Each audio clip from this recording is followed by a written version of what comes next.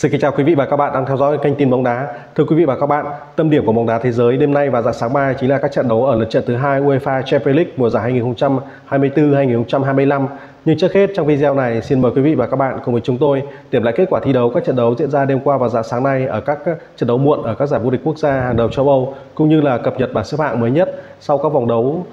tại các giải ngoại hạng Anh, Serie A, La Liga và tại giải vô địch quốc gia EU Bank V-League mùa giải 2024-2025.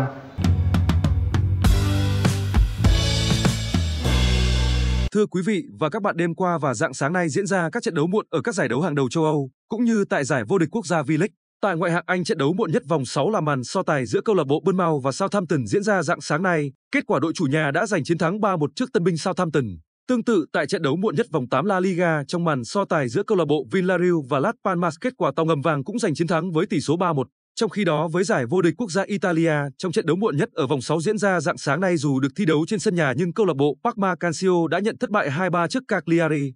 Với bóng đá trong nước, chiều và tối qua cũng diễn ra hai trận đấu muộn nhất ở vòng 3 V-League. Cụ thể trên sân nhà, câu lạc bộ Đông Á Thanh Hóa đã lội ngược dòng đánh bại câu lạc bộ Hải Phòng với tỷ số 3-1 và ở trận đấu muộn nhất trên sân nhà, câu lạc bộ Công an Hà Nội giành chiến thắng 1-0 trước BK Max Bình Dương.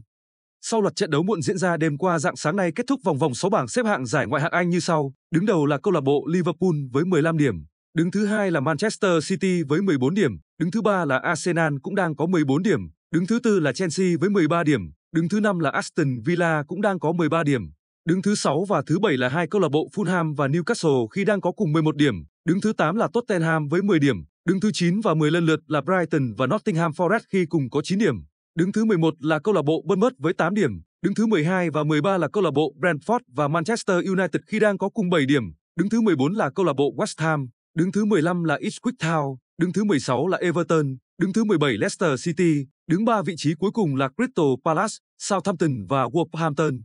Tại giải vô địch quốc gia Tây Ban Nha, sau vòng đấu thứ 8 bảng xếp hạng mới nhất như sau dẫn đầu vẫn là câu lạc bộ Barcelona với 21 điểm, đứng thứ hai là Real Madrid với 18 điểm, đứng thứ ba là câu lạc bộ Villarreal với 17 điểm, đứng thứ tư là Atletico Madrid với 16 điểm, đứng thứ năm đang là câu lạc bộ Athletic Bilbao với 14 điểm, đứng hai vị trí thứ sáu và thứ bảy và cùng có 14 điểm đang là câu lạc bộ Mallorca và Osasuna, đứng thứ 8 là Real Betis, đứng các vị trí thứ 9 thứ 10 và 11 là ba câu lạc bộ cùng có 10 điểm là Rayo Vallecano, Celta Vigo và Alas, đứng ở vị trí thứ 12 và 13 là Girona và Sevilla khi cùng có 9 điểm. Đứng vị trí thứ 14 là Real Sociedad với 8 điểm, đứng ở ba vị trí tiếp theo gồm 15, 16 và 17 là ba câu lạc bộ Getafe, Leganes và Espanyol khi cùng có 7 điểm đứng ba vị trí cuối cùng là Valencia, Valladolid được 5 điểm và Las Palmas đúng cuối cùng với 3 điểm.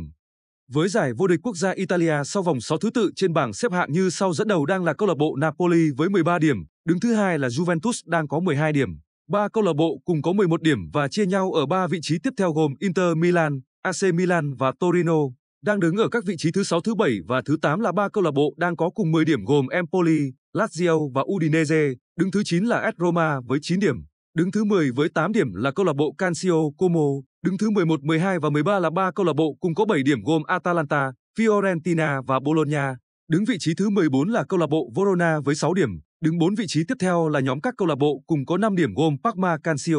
Cagliari Genoa và Lecce. Hai câu lạc bộ đứng cuối là Veneria và Monza.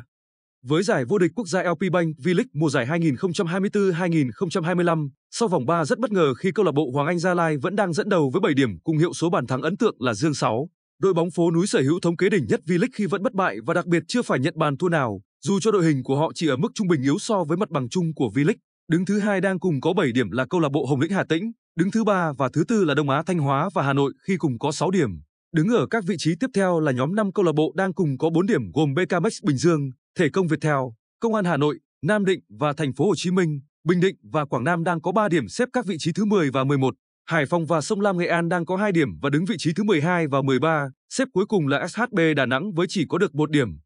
Tâm điểm của bóng đá hôm nay ngày 1 tháng 10 là các trận đấu ở lượt trận thứ hai Champions League Cup C1 châu mùa giải 2024-2025. Theo đó vào lúc 23 giờ 45 phút hôm nay diễn ra hai trận đấu. Trên sân Red Bull Arena là màn so tài giữa nhà vô địch bóng đá Áo câu lạc bộ RB Salzburg và đại diện bóng đá Pháp câu lạc bộ Brest, trong khi đó câu lạc bộ Stuttgart sẽ tiếp đón Sparta Praha. Trong khi đó vào lúc 2 giờ sáng ngày 2 tháng 10 sẽ đồng loạt diễn ra 6 trận đấu cụ thể Dortmund được chơi trên sân nhà để tiếp đón Celtic. Đại diện Hà Lan câu lạc bộ PSV Eindhoven tiếp đón Sporting Lisbon, câu lạc bộ Slovan Bratislava tiếp đón nhà vô địch ngoại hạng Anh Manchester City, câu lạc bộ Barcelona tiếp đón Young Boys, câu lạc bộ Bayer Leverkusen tiếp đón AC Milan, đương kim vô địch Serie A câu lạc bộ Inter Milan tiếp đón sao đỏ Biograd, câu lạc bộ Arsenal tiếp đón Paris Saint-Germain và câu lạc bộ Shakhtar Donetsk tiếp đón Atalanta.